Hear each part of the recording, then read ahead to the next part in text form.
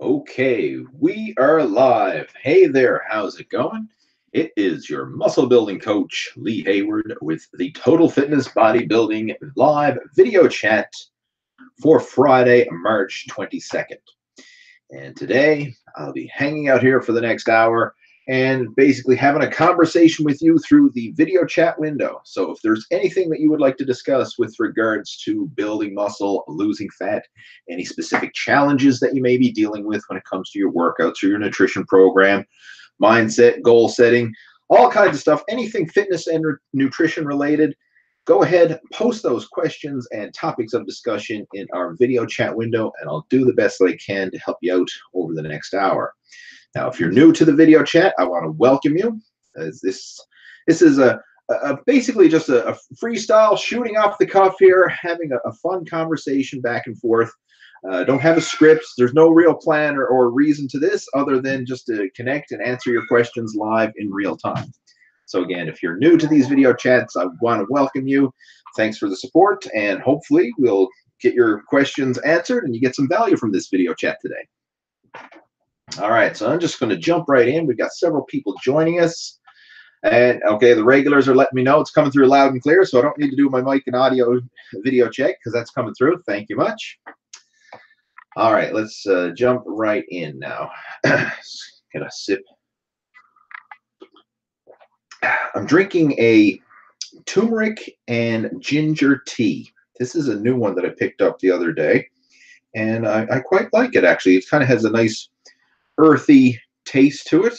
So it's if I, I'm I'm one of these people. I like to experiment with different teas. I mean, I usually green tea is my staple tea of choice, but I like to have other types of herbal tea from time to time, especially experimenting with different types of uh, non-caffeinated teas. And this one, there's no caffeine in it, but it's got a nice warming, earthy taste to it. So again, it's a turmeric and ginger tea that I picked up and this one's a President's Choice brand of tea if, if you're interested in checking it out for yourself. Not sponsored by the President's Choice. I'm just letting you know because I'm drinking. Somebody's going to probably ask, well, what are you drinking? So I'm answering the question before it gets asked. All right, moving on. Let's see. We have Sean is joining us. He said, What's up? Well, I'm here. Let's do it. We're ready to go. Uh, do you ever fear time? He says, getting older, or do you not give a shit? Well, I won't say I don't give a shit. I mean, I certainly give a shit, but I don't know if fear is the right word to use. Um, hmm, it's an interesting question. I've never really been asked that before, um, but I'm proactive. I respect time more. And this is something I think eh, the older you get, the more you're going to respect it and the more you're going to appreciate it because you realize you got less of it, right? And once you hit the big 4 0, then you're in the second half of life, right? I mean, like statistically, people don't live. Well, I don't know what the the average age is now. If it's in the high 70s or somewhere around there, I I don't know what the the current statistic was. I think the last one I heard was somewhere around 78 or whatever. I don't know. I could be wrong on that. But still, we're in the second half of life. Once you hit over 40, so it's it's it's a different mindset compared to when you're in your teenage years or even in your 20s when you got all that life ahead of you. Now you're looking at shit, how much do I have left? Not how much do I have ahead of me? How much do I have left? So I want to maximize what I got left. And that's why I'm more motivated than ever to really get myself in shape and not just in shape in terms of you know lifting heavy and, and and getting contest shredded or something like that. Even though that's that's a cool perk. I mean, to be in shape and look like you're in shape, but to be healthy, that's my number one priority. That's what I'm really focusing on. So everything I do now is all. It's not just is this going to help me in the gym in terms of looks and performance and whatever, but is this going to make me healthier? and that's my my main focus now. So it's it's a different mindset shift uh, compared to when I was younger and you know the and the competitive bodybuilding and powerlifting days you know sometimes doing the the dirty bulks in the off season just to try and gain the weight and lift heavier and stuff like that. I mean that's what i don't really give a shit for anymore because i mean that's not my priority looking after my health and keeping myself uh, you know as fit as possible so that i can be around and active for as long as possible. That's my goal right now. But uh, an interesting perspective nonetheless. Thank you for uh, posting your question We've got uh, Stanley Stud joining us. He's asking, Do I have a sister? I have no siblings. I'm an only child. No siblings from me. Manuel's joining us. Maximilian's joining us. Ian is joining us. Woodulos is joining us. And Michael is joining us. All right, another question coming through says, I'm thinking about hopping on the juice. Do you have any tips? I want to become a freak, a beast, a plague upon mankind, a holy protein eater within the strength of ages, power over the lands and glory of. Wow, that's for those of you who are live right now, you can see this. This, this is word for word. I'm not making this up. Any tips about hopping on the juice? I'll, I'll be totally honest with you. I'll, I'll be totally honest. If you are seriously considering this, wait until you have a minimum, bare bones minimum of five plus years of progressive training under your belt naturally. Um, and, and that's, I'm not talking about like five years of on and off. I'm talking about five years of maximizing your progress naturally before you even consider it. Uh, I mean, I, have seen some guys over the years, like they, as soon as they start working out, like within two weeks, they got a needle in their ass, right? You know, I mean, it's right. Like there's no natural base, there's no foundation there whatsoever. So, if like first off, I mean, the obvious tip is you know staying natural and look after your health and do this for the health and fitness benefits. But if you're seriously going to do it, I mean, you're a big boy, you can do whatever the heck you want to do. Give yourself a minimum of a five years to maximize your natural base. Even the, the longer you can train naturally, the better it's going to be for you overall because you'll have a better foundation. You'll make better progress if you decide to to go to the dark side, as they say. Uh, and it, ultimately, I think it'll be the, the better solution. I think it's a mistake for people to start training and then automatically looking for a shortcut within the mat, like within their first year of training to be starting to jump on, you know, performance enhancing drugs right off the bat. I think that's a mistake. Build the natural foundation first, and I think you'll be better off for it in the long run. All right, we have Jay Michael joining us. For a hard gainer, is isolation even worth it? So I'm assuming you mean like isolation exercises? Yes. I mean, it, first off, hard gainer. It, it it's just like there's there's no such thing as, a hard gainer, right? This is just a, a, a name that that you know bodybuilders have, have come up with over the years. Everybody's a hard gainer unless you're a genetic freak, right? I mean, there now there are genetic freaks out there, and if if you want to see what they're they're the people who are gracing the pro bodybuilding stages. They're the ones who are on the magazine covers. I mean, they're those are the people who, you know, they just have that genetic structure and they ha- they have the ability to make gains faster than normal people, right? They are the elite of the elite. You know, the the, the tip of the iceberg, the, that top one percent or or less, maybe even a percent of a percent.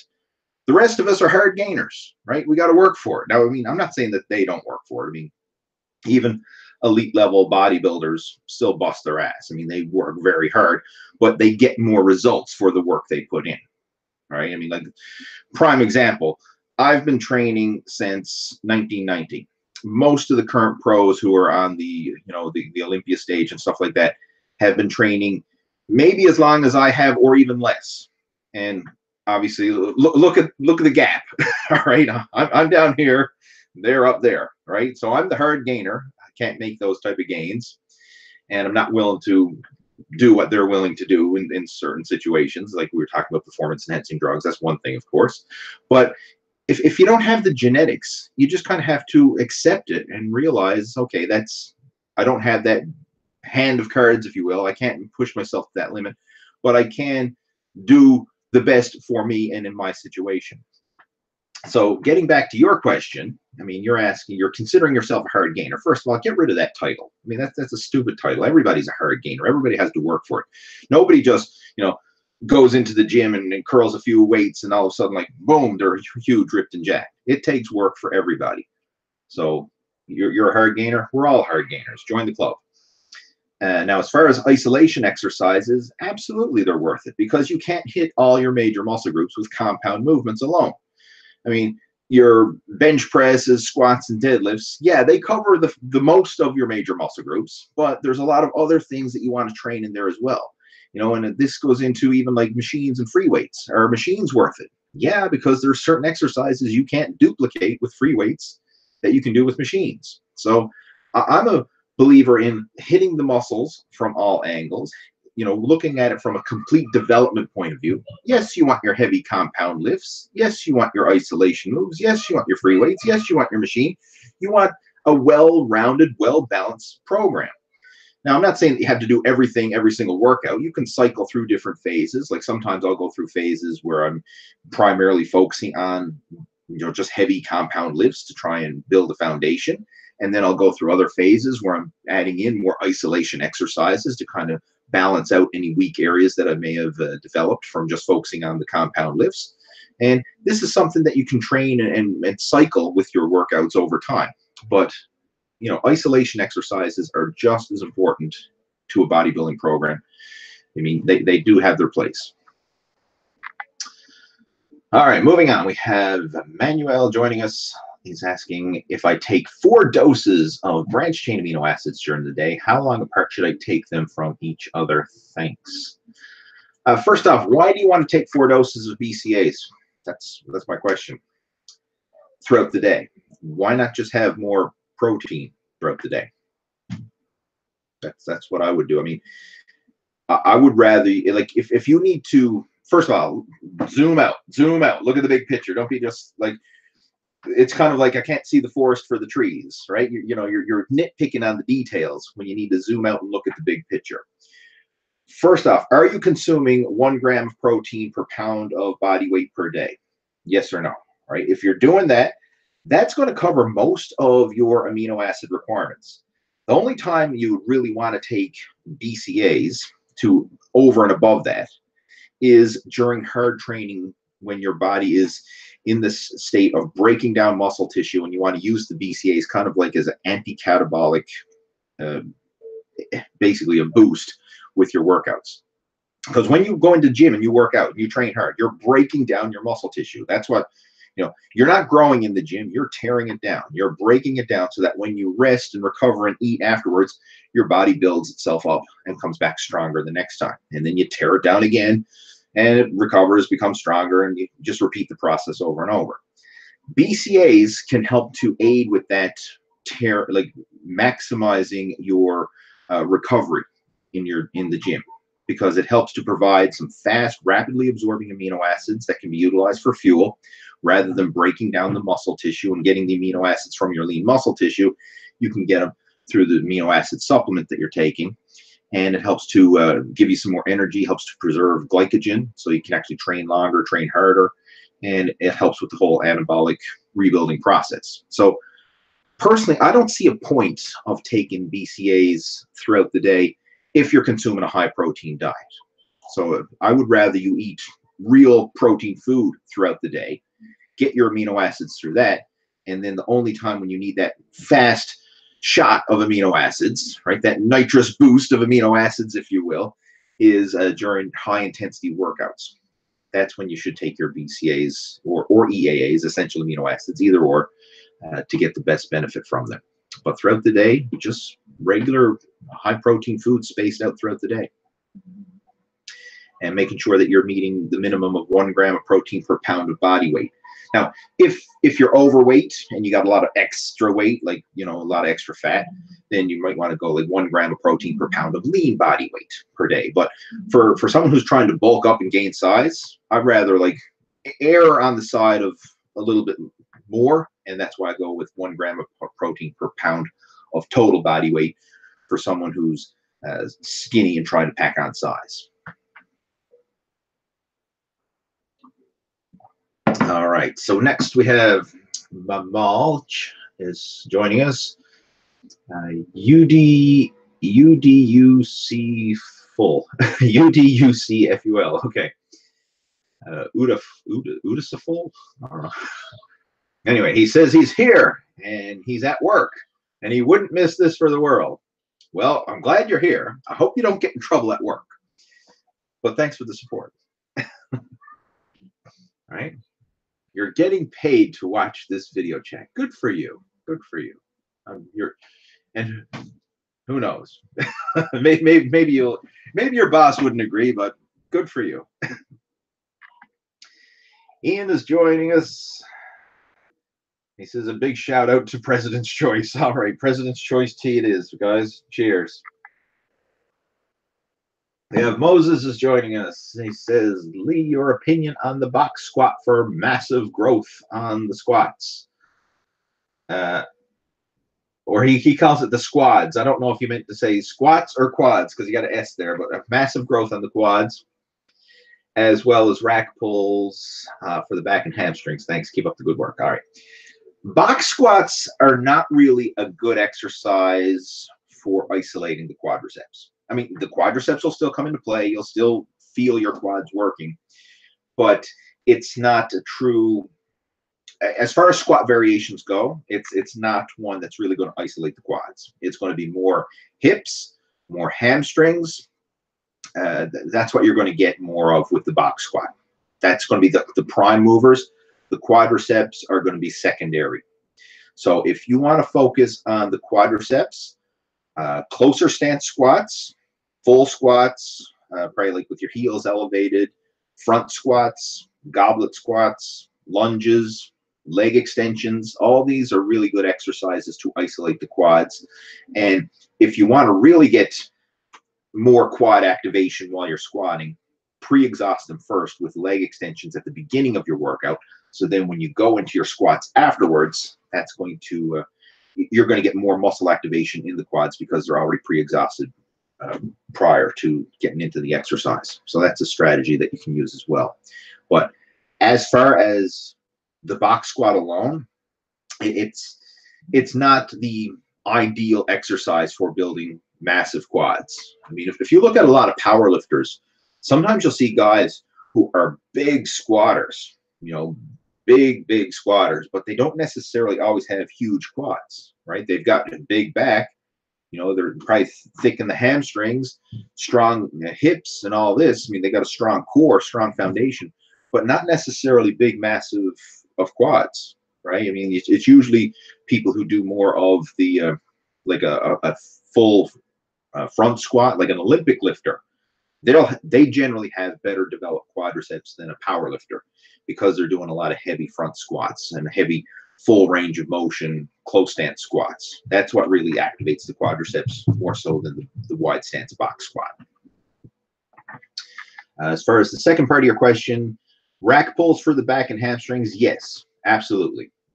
All deadlift variations are good for the back and hamstrings, and rack pulls, that's just a, an advanced variation that's going to allow you to handle even more weight. So that's that's definitely a good one. Okay, we have Blue Leaf joining us. Lee, what protein supplements would you recommend? How do you determine the accuracy of nutrition labels? Uh, you really have to go with, I guess, more of the more reputable brands if you want to. And even then, there's no guarantee when it comes to nutrition labels. I mean, there, there there's bound to be some margin of error. And this doesn't just apply for protein. This applies for everything. Like if, if you buy uh, any packaged food in the grocery store and look at the nutrition label, that could be off by 25% easily. You know, that could be plus or minus 25% of what's on the label. And it's not necessarily that they're trying to scam you or anything like that. It's just due to very variations in the food. I mean, like for example, I'll, I'll just give you something you can ponder at let's take a banana. Let's say, okay, how, how many calories and how much carbs, how much sugar is in a banana? Well, it depends how ripe is the banana. Because if you have a green banana, that's going to have a lot more starch, a lot less sugar, and the nutritional profile is going to be different compared to a ripe banana and compared to one that's actually starting to rot, you know, like is, is, turning brown, the, the peel is turning brown. So the nutritional value in this exact same food will vary depending on the stage that that food is at. So if it's if it's green, if it's yellow, or if it's starting to turn brown, you're going to get three totally different nutritional values in the exact same food. So that's just one example. Now you look at if you have uh, foods like a packaged item that has multiple ingredients included in there, and so you have multiple ingredients that could have multiple variables in their nutritional value. So what's on the label can easily vary up or down by about 25%. That's kind of like the, the, the rule of thumb. I mean, sometimes it's even off more than that, but bottom line, uh, for, for, people who are just focusing on the counting macros and, and relying on those nutrition labels as if they're like, you know, the Bible or, or the, the, you know, 100% accurate in terms of the nutritional uh, intake that they're getting, they could be off, right? I mean, so sometimes, you know, people say, well, I'm, I'm following if it fits your macros and I'm eating, you know, X number of protein grams and carbs and fat and calories and this and that, and it's not working. Well, just because it says you're eating 100 calories on the label doesn't necessarily mean that it's 100 calories. It may be more, it may be less. You, you know, it's just a ballpark estimate. So, um, where, where am I getting back to your question here now? I've got, which protein supplement do I recommend and how do you trust nutrition labels? Okay. Um, so again, when it comes to nutrition labels, there's there's a margin of error. That's what I'm getting at. Now back to the protein supplements. Uh, I personally like to go with with whey protein myself. I mean, that's usually my go-to protein supplements. I've tried some of the different ones, um, you know, and and you know, I personally like whey. First off, it, it's usually the most cost efficient of most protein supplements because it's in such demand now. I mean, back in the day, whey protein was way more expensive than it is now. I, I can remember going to the supplement store back in the early 90s and getting seeing a five pound container of optimum whey protein and they were charging somewhere like $90 90 nine zero for a five pound container of whey back in the 80s or not the 80s in the 90s early 90s so i mean like it's now when you factor in inflation and the prices have, gone down, right? So I mean, it's it, protein is cheaper now than it used to be because it's so readily available. But when it wasn't readily available, that stuff was expensive. But I still was a big fan of whey protein. Uh, some brands like I I like to use Optimum Nutrition is one that I go for. Uh, sometimes I'll use um, MusclePharm I use that one. And, and, quite honestly, the reason why I use them is because there's those are a couple brands that Costco carries, and I get the best deals on them. So I mean, it's a decent protein at a good price. So I mean, hey, why not? I'll go for it. Uh, another one that I've been using a lot lately, and it's it's kind of a different protein, but it's it's like a supplement to my protein supplement, if that makes sense. Uh, but that's collagen. Using collagen because it has totally different uh, nutritional profile compared to most protein.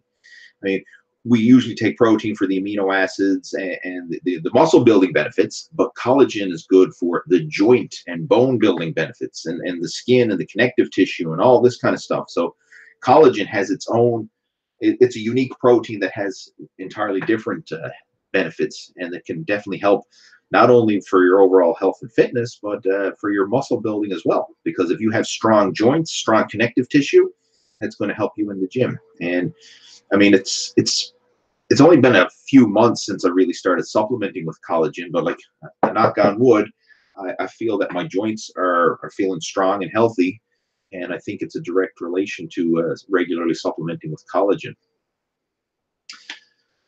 All right, so let's move on.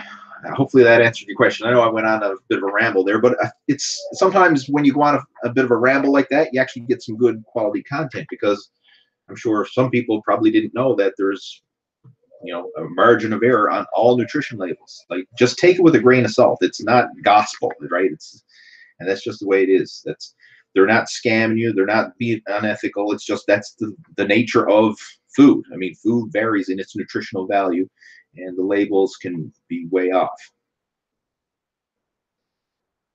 All right, Anthony is joining us. Uh, have you ever paid for personal training and coaching, or you just try to figure things out on your own along the way? I have hired a lot of coaches, and I've done a lot of study and, and courses and stuff like that. Um, yeah, I, have I've definitely invested in my personal training and in my education, and I continue to do so. I, I spend a, a fair chunk of money in in coaching. I mean, that's something that I do on an ongoing basis. And when I started, I, I tried to do it on my own. And, you know, I got some help from friends and family members who, who worked out and they kind of helped get me started. But uh, within my early years of bodybuilding, when I started to actually do pretty good in competition, I hired a coach. And I found that when you're working with a coach, uh, it's it can really take things to another level because now it's not just you trying to figure everything out, but you have someone that you can bounce ideas off and strategize with, and you got a set of outside eyes looking at your progress, someone who's not emotionally attached and who can give you some rational direction. Because sometimes when we're focusing on our, our own progress and our own goals and we're emotionally attached to it, we can't make rational decisions or, or sometimes we can't see because we just don't know. Like we, we you know, you might get stuck in a plateau and and you're beating your head against the wall all frustrated. And a coach who's got more experience and more knowledge might say, hey, you know, just back off a little bit and change things up a little, and then all of a sudden, boom, you, you're past that plateau and making progress again. So yeah, I've I've hired a lot of coaches over the years, and I still continue to hire coaches. I'm working with coaches right now. All right, Anthony's got a question. Oh, that was a question. Sorry, uh, Sean's got a question. Um, he says he got cut off. Okay. I'll say it again. All right, well, Sean, go ahead, po- repost your question if it didn't come through the first time. Okay, let's see what else we got.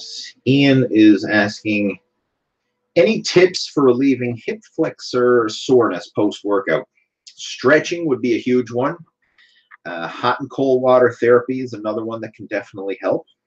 But uh, stretching and light activity, walking, getting outside for regular walks. And it doesn't have to be anything crazy. Uh, frequent walks throughout the day. Uh, I'll tell you something that I've been doing uh, a lot lately, and I find that it's it's helped, and that is 10 minute walks. If if those of you who follow Stan Efferding on YouTube, you've probably seen his videos on 10 minute walks. And you know, I've, I've watched several of Stan's videos, and I really like the guy. I mean, he's he's very knowledgeable, and I have a lot of respect for him because here's a man in his 50s, and he looks phenomenal, right? So I mean, I've got a lot of respect for him. But he's got a video about the 10 minute walk, and I started, you know, I, I've I've seen it, and I decided to implement it myself. And I did, you know, read up on some of the studies behind the the science of a 10 minute walk and it makes a lot of sense. And I've been doing them myself for uh, the past while, and I, I, enjoy it. I find that it's it's it really helps with your recovery. It helps with your energy levels, with your digestion, your metabolism. And the, the idea of a 10 minute walk is you're going instead of doing like let's say you're going to do an hour of cardio, right? You know, you go and do an hour walking. Now, there's nothing wrong with doing that, but it gets it can sometimes get a bit monotonous or sometimes people put it off because they think well I, you know i've got to have a full hour in order to go for a walk or whatever. But a 10 minute walk like you can squeeze that in anywhere. You can squeeze it in on your lunch break you can squeeze it in before work after work you know on a break time anytime. You can squeeze in a 10 minute walk. So throughout the day multiple 10 minute walks. So for, for example instead of doing 30 minutes of cardio in one bout go for three 10 minute walks throughout the day you know Ideally, do one after every meal. And walking after a meal has actually been shown to help aid with the digestion and the, the utilization of the food you just ate. Like it helps to shuttle that food into your system and into the muscle cells. And there was actually a study done. I, I could probably dig it up, or, or you could just probably search it for yourself on Google, you know, 10 minute walk study or something like that. But doing these regular 10 minute walks after meals has been shown to be twice as effective as taking metformin, which is the, the diabetic drug, which helps to uh, uh, shuttle you know glucose into the muscle cells. You know, a lot of people who are diabetic, but not to the stage where they need insulin yet, they often take metformin. Now, I, I may be mispronouncing the name, but I, those of you who, who, know what I'm talking about, you, will recognize it. Uh, but going for 10 minute walks post meal has been shown to be twice as effective as the diabetic drug. So it's natural, it's healthy. You know, I mean, there's no no side effects to a 10 minute walk. So I mean, it's something that I've been doing myself, and uh, I would definitely recommend it for not only helping with fat loss and, and aiding with your digestion, but aiding with delayed onset muscle soreness. Because every time you get out and move those muscles, circulate the blood flow, you're helping to uh, uh, work th- those sore muscles get, you know, just to stretch them and give them that light bit of exercise. And walking is a great way to get exercise throughout the hip flexors and stuff. And uh, I think that'll help to speed up your recovery.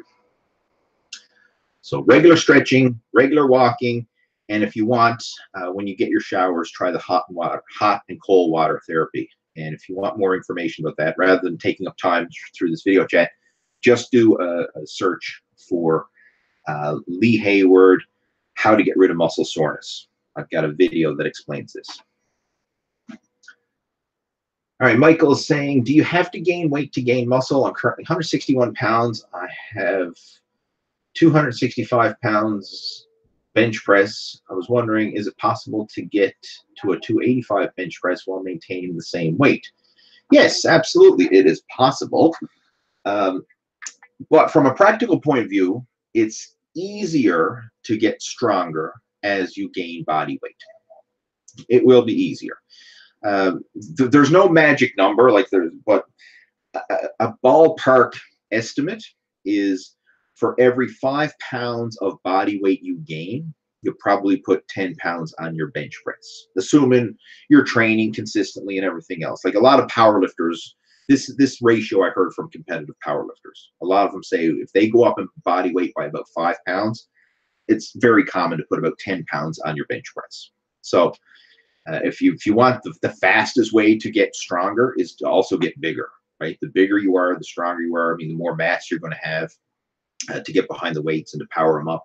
So you can definitely do it, uh, but if you want to stay lean and increase your strength, and, then yeah, you can do it that way. But it is a, a slower process, right? Because you don't have the, the mass behind to, to power up the heavy weights. But you see this all the time. Like a lot of powerlifters who are competing in weight classes, they purposely keep their weight low, uh, you know, because they want to compete in a you know a certain weight class. But they're still training for strength, still training to get uh, stronger while staying within their desired weight class. So yeah, it is possible, but it's just a slower process. Okie dokie.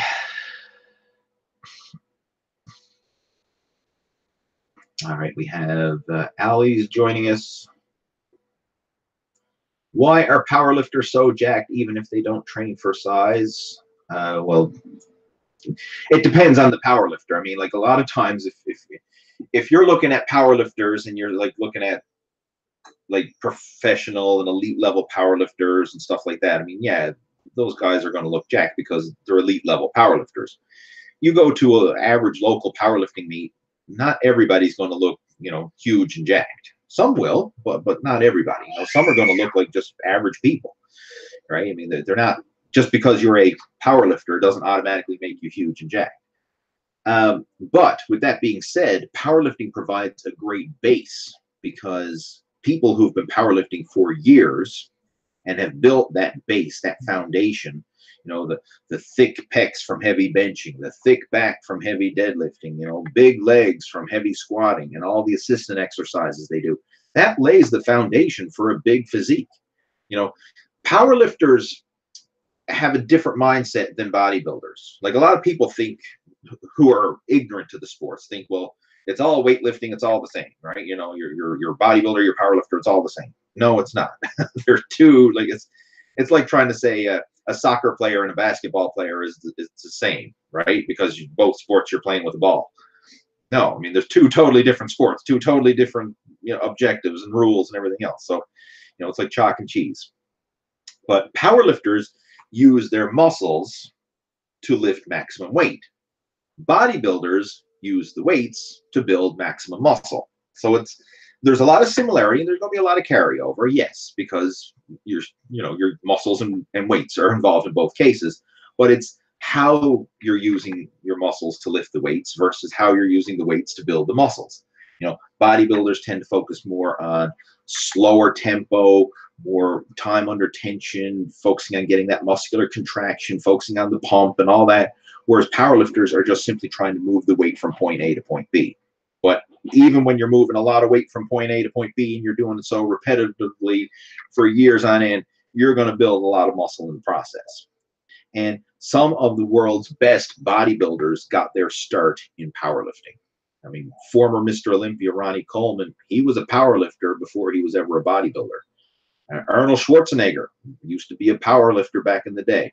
Now, I don't know why he started first, whether it was bodybuilding or powerlifting, but he did his fair share of powerlifting back in the day.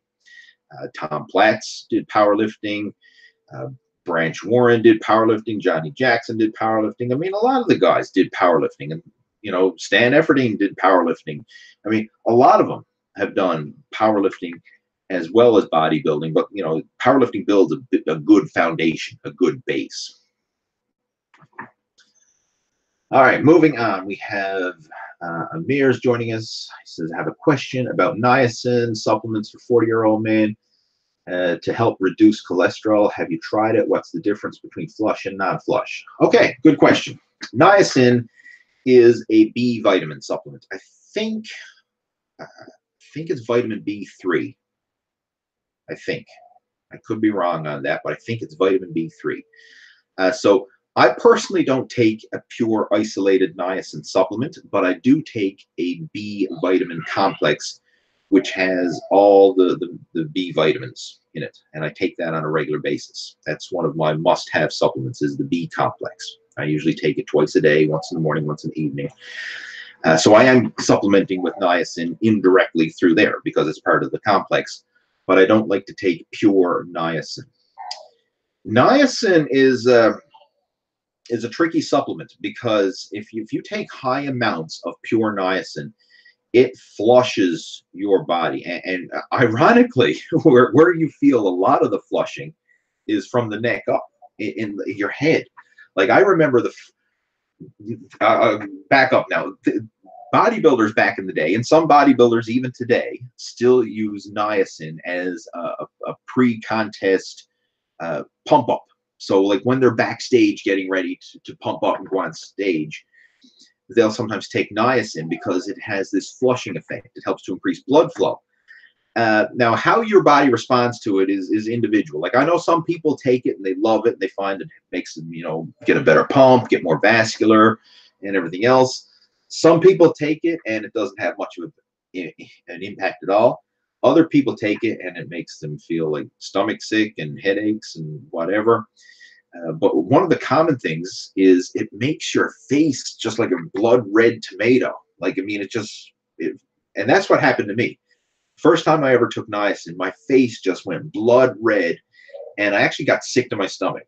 I mean, I puked my guts up from it, right? I mean, I took a 500 milligram tablet of niacin, which is a hefty dose of niacin and face blood red. I started to itch all over, just like this itchy, crawly sensation.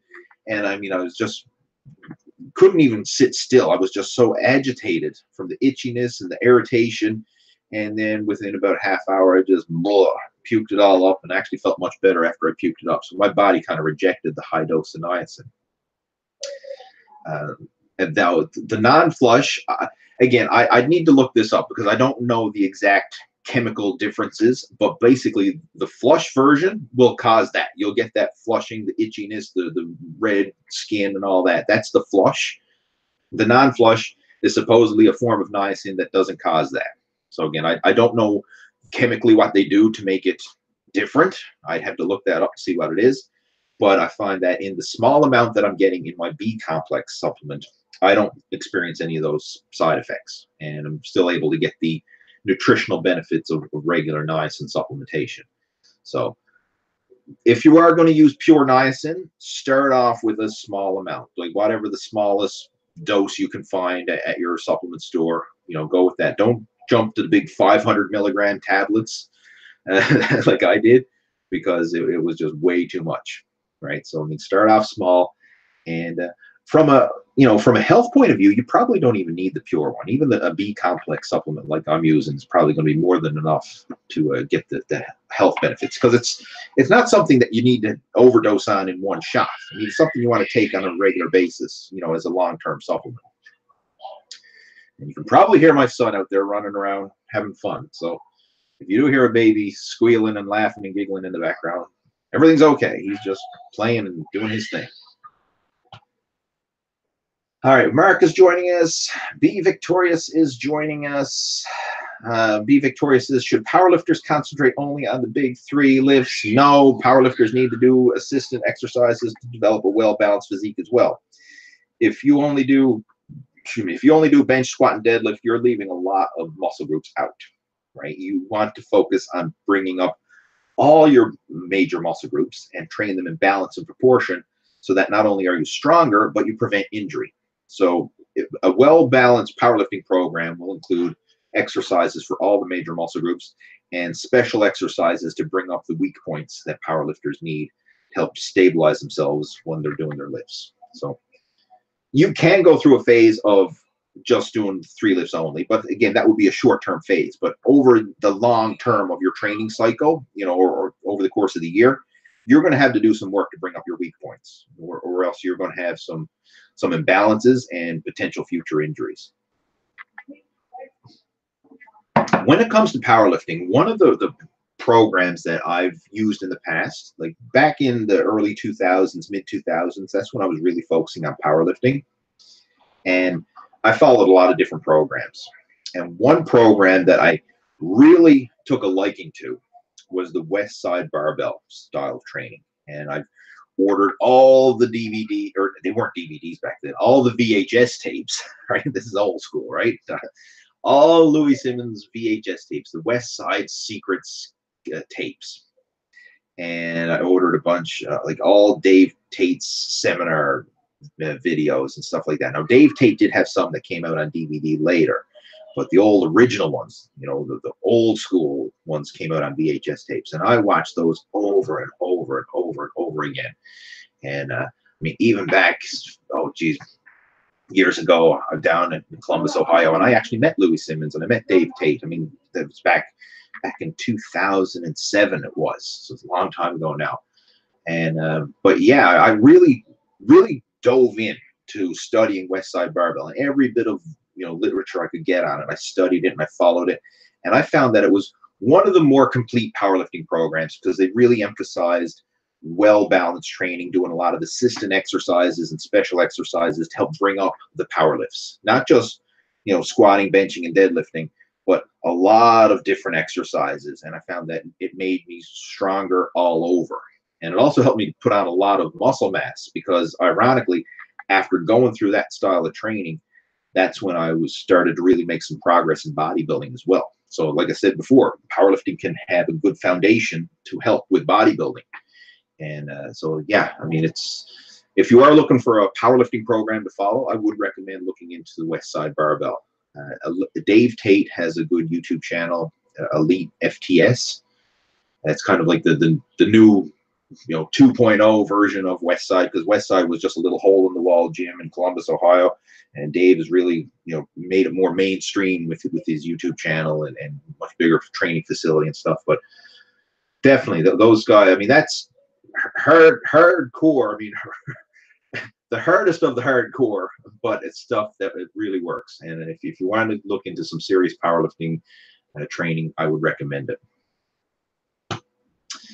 All right, moving on. Forge in Fashion is joining us. We have another question here from Udo Udo Suful. I think it's pronounced the username. He says, anyone care for aesthetics as far as looks go? The power lifters I've seen are not attractive. Okay, you're probably just commenting to someone else's uh, question. Charlie's joining us.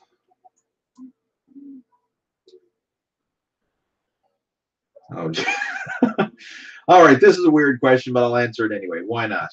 Sean is saying, Lee, this isn't a fitness related question, but if you could be any animal for a day, what would it be? Uh, I'd be a great white shark and eat people at the beach to stay anabolic. Okay. Any animal for a day. I would be a bird. I'd like to fly, right? Like an eagle or a condor or something like that. But I would love to be able to fly. Wouldn't that be cool? right? Just spread your wings and just fly. Especially like a, you know, more extreme, like an eagle, you know, condor, something like that. Some of these big ass birds that can fly and go, you know, super crazy fast. Yeah, that's probably what I would be. If I could be an animal for a day, I would I would fly like a bird. All right, we have Crush Crazy saying, "Do you even lift, bro? I'm trying to quit, man. I'm trying to quit. It's a bad habit I got. This lifting stuff." Uh, Charlie saying, Charlie's joining us. We have Jesse is joining us. Um, Jesse's asking about how collagen is working. I actually mentioned that earlier in the video chat, and it's working quite well. Um, Steve is joining us. He says he's an avid cyclist. Avid cyclist with well-developed glutes, just starting with the leg press and leg extensions. Can't squat due to shoulder tightness. What's your opinion on training while still sore? Okay. I can't squat due to shoulder tightness. Well, one thing I would recommend, and this is something that I think is quite common among cyclists, uh, shoulder tightness. And I think it's the prolonged time you're spending riding hunched over. I mean, if it's a road bike and everything else. I mean, if you if you look at a road cyclist, I mean, nothing against cycling because I, I love cycling. I mean, I'm, I'm more into mountain biking myself, but I love cycling. It's it's fun. I've been you know ever since I was a kid and got my first bicycle. I've been hooked on bike riding. But if you look at a road cyclist, they have terrible posture. Like the look at the back, how the back is all rounded and they're hunched over, and they're like that for prolonged periods of time. I mean, a road cyclist can be like that for a long time, in that awkward bent over posture, and it can create a lot of tightness in, in you know imbalances in the shoulders. Because I actually was coaching a cyclist not too long ago. It was well, I don't know, six months ago or something. He signed up for one of my, my one-on-one coaching because he needed some help with his nutrition program and of course to work around some uh, mobility issues that he had. And one of them was the shoulders. And uh, so I'm, I'm, thinking that this is probably a common thing. And, and this this guy was doing crazy amounts of, of cycling, like nuts. I mean, it was like 50 kilometers a day was like an average day, right, for him.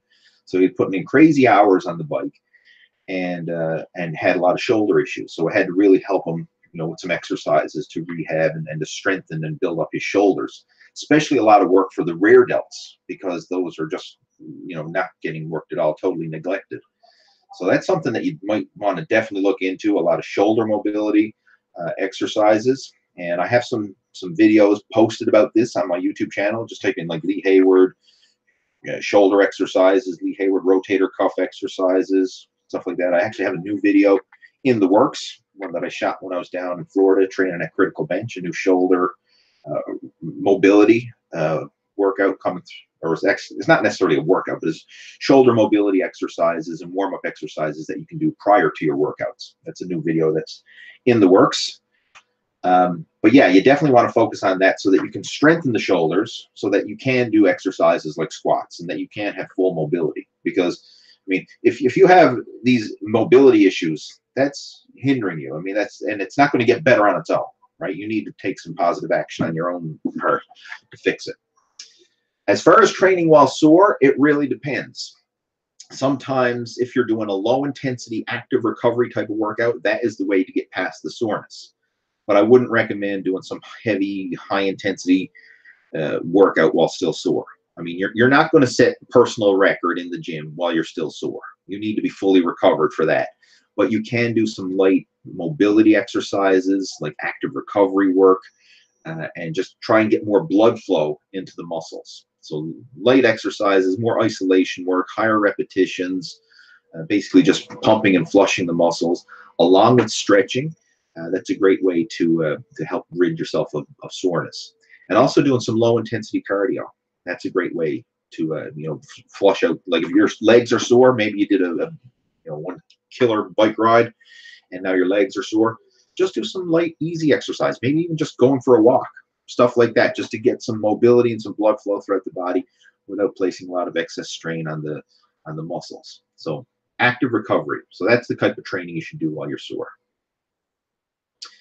Uh, another question here. This one's from Heath asking, does a massage help with recovery? It can. Uh, there's different types of massages from a just a relaxation massage to a deep tissue massage, but uh, it, it, definitely can help to improve blood flow and, and, recovery. I personally haven't done a lot of massage work. I have done a little bit over the years, but it's it's not a regular part of my training. Uh, but I know like a lot of guys do it as a regular part. Like remember uh, hearing about like Jay Cutler back when he was training for the Olympia. He used to like regularly do a lot of massage work. I mean, deep tissue massage and stuff like that.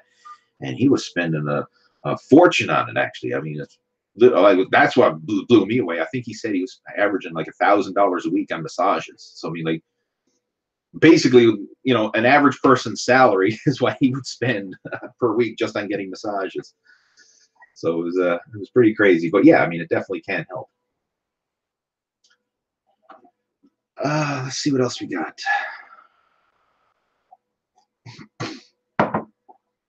Um, Heath.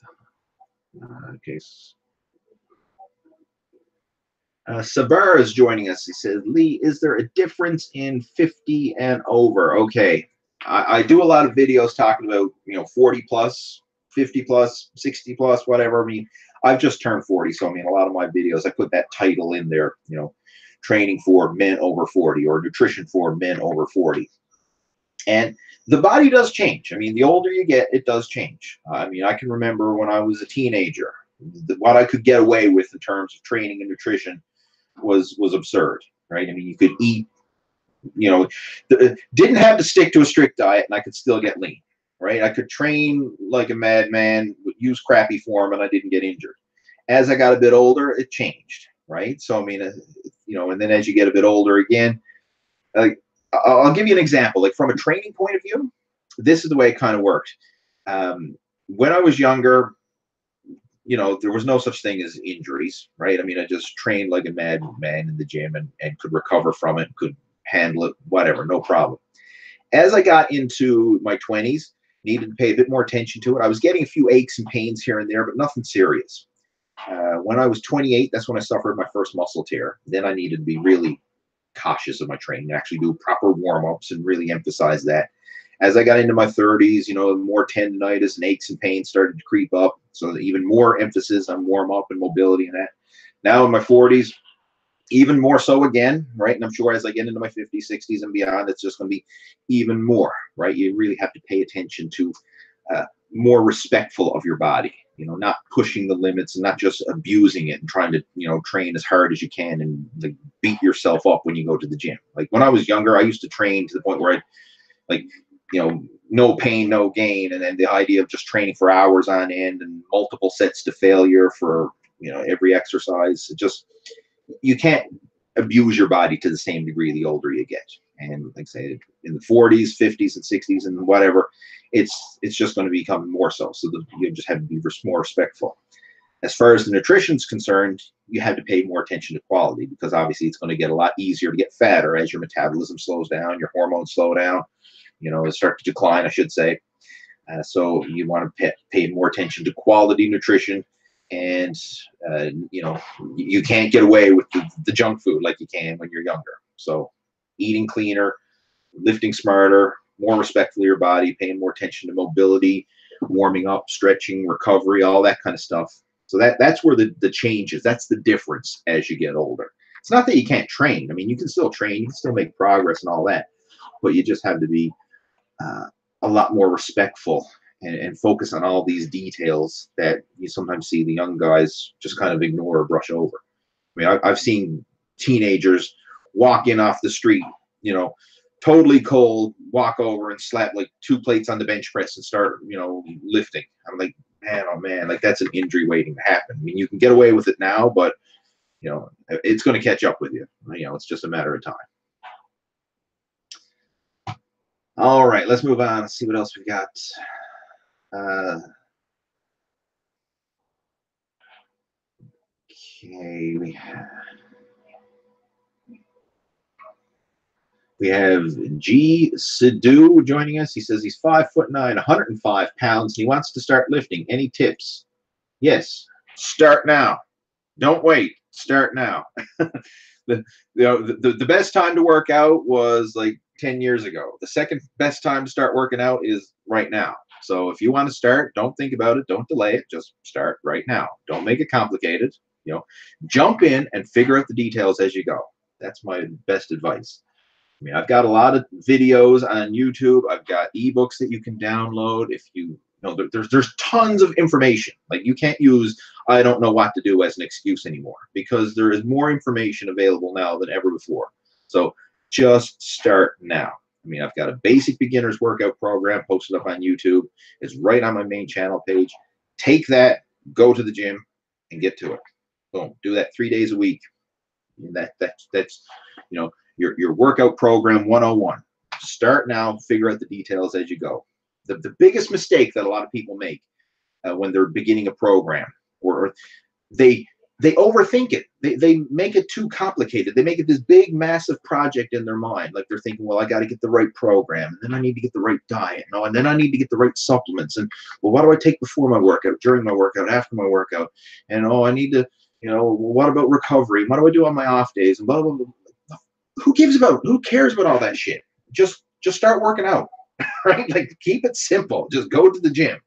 Start with step one. Go to the gym and you'll gradually be able to piece together all this other nitty gritty details as as you go i mean most of it is not nearly as important as you're making it out to be in your mind anyway like most people are getting paralysis by analysis they're just getting caught up in the details and they're so overwhelmed and thinking too much that they don't do anything so stop thinking and start doing so if you want to start working out this is my tip for you just pick a program and i'm going to give you the program go look for Lee Hayward's Total Body Workout for Beginners. It's on YouTube. You can watch that video. You can even open up the description, copy and paste all the exercises, you know, or write them down in a notebook so you got a list of them, and go to the gym and start doing it. Boom. That's workout 101 right there. All right, let's move on. Um,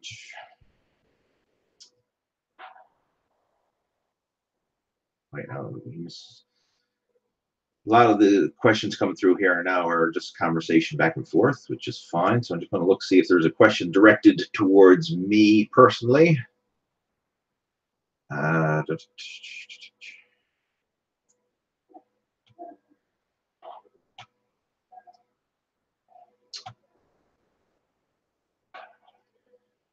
Uh,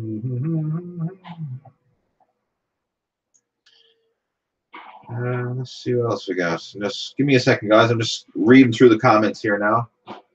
Again, there's a lot of chit chat back and forth, which is totally cool. But I wanted to see what's directed towards me as far as a, a question for our video chats. We're almost done now, so I'm just going to take another question or two and include it up for the day.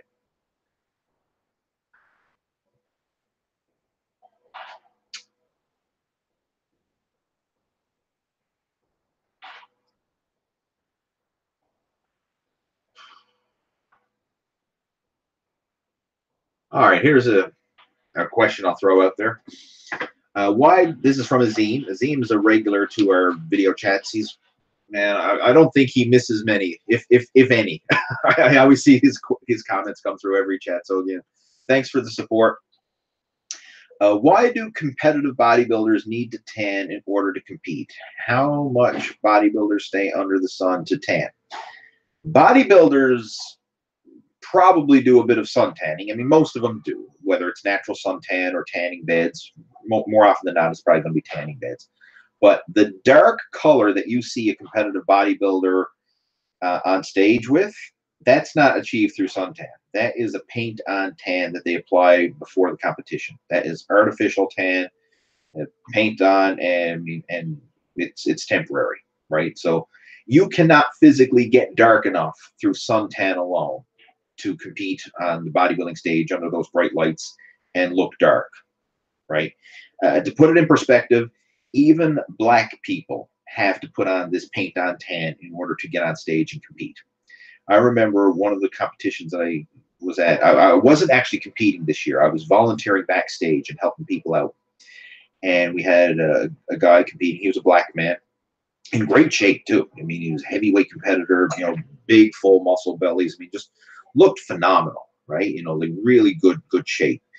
And I said, you know, are, are you going to put on some tan? And he, he's done a few shows over the years, but he's kind of like on and off with competing. He wasn't wasn't really serious about it, even though like he had the genetics to to take it, you know, to probably like the national level if he wanted to.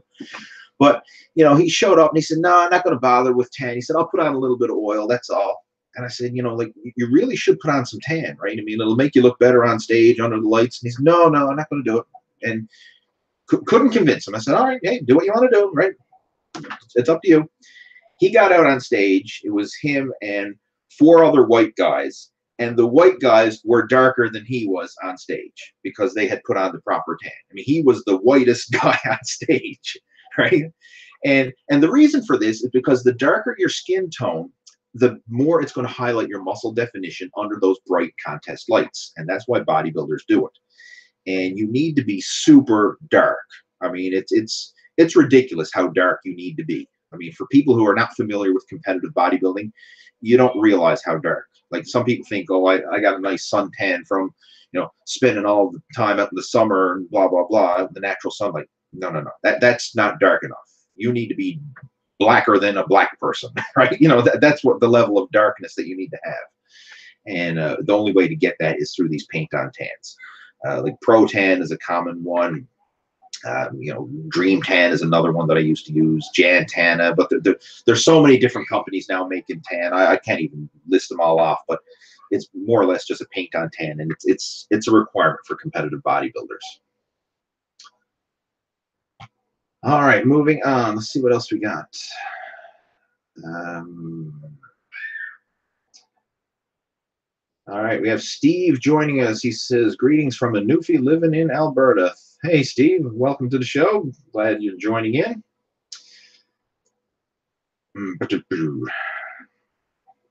All right. Idris, I think that's how you pronounce your name, he says, do high reps, are they good for vascularity and do they allow you to get veins on the muscles? All right. This whole idea, like high, high repetitions, it's, it's not necessarily going to make you more vascular. What's going to make you more vascular is losing body fat. The leaner and thinner your skin is, the more you're going to see the muscle definition and the veins underneath. And then a lot of that still has to do with your just your genetics. Like some bodybuilders have a lot of natural vascularity in in certain body parts.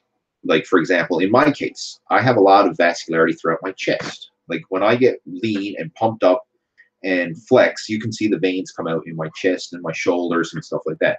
I have a lot of natural vascularity there.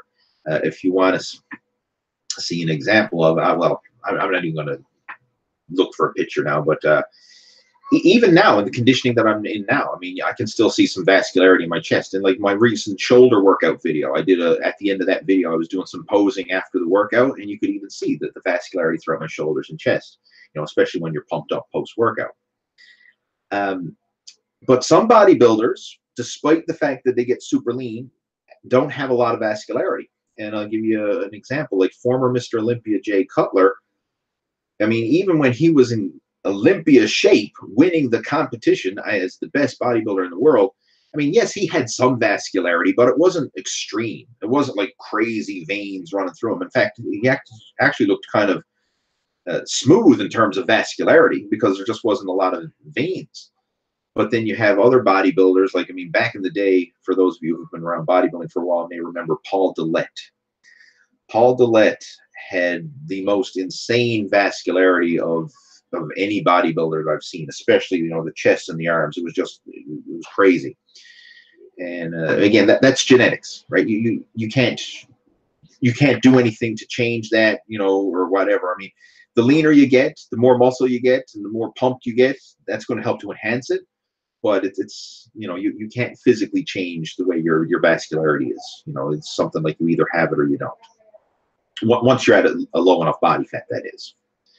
So like high reps, low reps, you know, it, it's it's not really going to make a difference. You know, I mean, you see some powerlifters. Some powerlifters are crazy vascular. Some are, are not. You know, it's so the, the number of repetitions really doesn't have uh, an impact on that. It's it's your level of body fat and then it's your genetics. All right, let's move. Tell you what, guys, that was pretty good. I'm going to clue up. Um,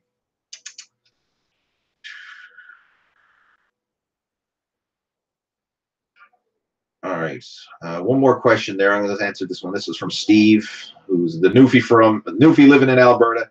says that he was plan he's planning on visiting Venice this summer, Venice, California, asking if I've ever been there. Yes, I have been there a few times. Uh, the last time I was there was 2009, I think it was, right? Uh, but it, it's cool. It's cool to go there, you know, see Muscle Beach and to train there. Now, you got to realize, like, the Muscle Beach that's there now, it's not the original Muscle Beach. The original Muscle Beach was down in Santa Monica. Uh, the one that's there there now is in uh, Venice, California. Uh, but obviously, it's, it's a much better gym. I mean, it's actually a pretty good equipped gym with with all the you know the major equipment that you need. Uh, but it's it's cool to be there, you know, just to experience it all. And so I did the whole bodybuilding thing. I went to you know train at Gold's or sorry trained at Muscle Beach several times, and also trained at Gold's Venice. Um, that was at the time that was the most insane gym that I've ever been in, and I'm sure you know that's over ten years ago now. So I'm sure it's it's even better nowadays. But that place, it was like you walk into the main area, and it's like every piece of equipment that you can think of from like one brand, maybe like hammer strength, for example, and then of course free weights and everything else. And then you go into the next section, and it was like every piece of equipment that you could think of from another brand. Maybe it was Life Fitness, and then another brand. So it was like each section of the gym was like a whole complete gym in and of itself. Like, I mean, it, it was crazy. It was just, and then they had a whole outdoor section there where they had, you know, guys doing some outdoor training with tires and and some, you know, kettlebells and all kinds of stuff. So it was cool, I gotta say, and it's quite the experience just to to be there and I mean seeing a lot of the different pros. I mean, when I was there, like Charles Glass was there uh, you know, a lot of the old school guys, and just to see him training. I mean, it, was pretty cool, you know, especially for a, a bodybuilding fan.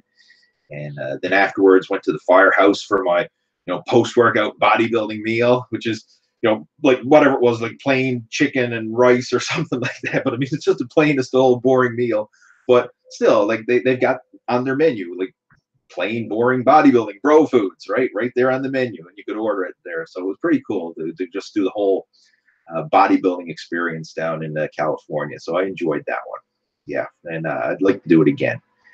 Um, and you're asking, uh, do I know Frank McGrath? Yeah, I, I know Frank. I mean, uh, myself and Frank. Uh, I mean, we, have competed together back on the Newfoundland stage back when Frank was living here in Newfoundland. So yeah, I know Frank. I w- I wasn't b- big friends with him, but I mean, I knew him through the bodybuilding scene. Callum, I've never met Callum before. I've seen him on videos and stuff, but I've never met him in person. But I do know Frank. But again, it's been years since I've seen him.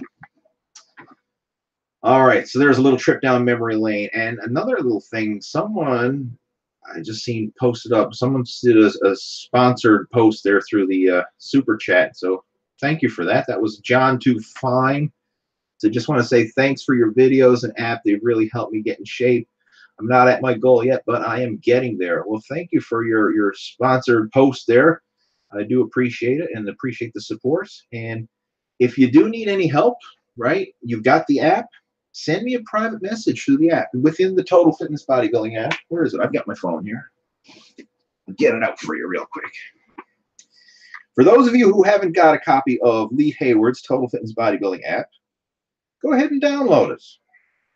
It is available for both Apple as well as Android devices, and you can get it right on my website. Just go to leehayward.com and you'll see a link to the app right there on my website. And here's where I share some of my best workout programs. There's workout programs there for beginners, for intermediate, for advanced. You know, there's different types of upper lower body splits, um, push pull workouts, body weight workouts, five by five, uh, different tips for pre pre workout warm up, post workout stretching, blah blah blah. I mean, uh, basically, I, I, really try to over deliver and provide a lot of value here. Uh, there's a whole exercise database where you can see exercises for all your major muscles. Uh, there's uh, pictures as well as demos. So if you want chest exercises, there's a whole database there of different chest exercises. If you want leg, back, different exercises, you can go check that out. Oh shit, I closed it out. All right. Second, open it up again. So the exercise database, all your major muscle groups. There's a section there on nutrition. You know, some some of the basic fundamentals. Uh, you know, how to count calories, how to track your macros, and all that kind of stuff. It's a sample mass building bulking diet, sample fat loss cutting diet, And there's also some there suggestions there if you need some help with a customized program, uh, that's available as well. There's a section for high protein recipes, you know, different recipes that you can uh, try out. Like there's a high protein oatmeal, high protein protein bars, protein pancakes, uh, different types of protein ice cream, protein muffins, blah, blah, blah, blah, blah. uh, and then in the, click on the, when you're in the app, click on the more tab down at the bottom. And there's a section there where you can ask Lee and people like it's kind of like a private discussion within the app itself. So you can ask me questions and I'll respond to you within the app. Or if you got something that you want to discuss privately, uh, there's a contact Lee down in the bottom here, contact Lee. And let's wait for it to load. Contact Lee. So it's, it's a private thing where you can send me a private message if you have any questions that you don't want every Tom, Dick, and Harry to, to hear about. Like if you got some specific questions or challenges about your workouts or nutrition, send me a question through the app. So I'm directing this to John. He said he has a copy of the app and he's getting in better shape, but he's not at his goal yet. If you need some help getting to your goal, send me a message through the app and we can chat about it and come up with some strategies that are right for you. So there you go, guys. Hopefully you enjoyed the video chat today. I enjoyed doing it, as I always do. Uh, have the replay of it up within the next 24 hours, along with the timestamps. So if you want to go back and check out any of the previous questions and topics we covered, do that. And if you haven't already done so, download a copy of the Total Fitness Bodybuilding app. I promise it'll be the best two bucks you ever spent. So there you go. Have yourself a great weekend. I'll talk to you next week. Take care. Over and out.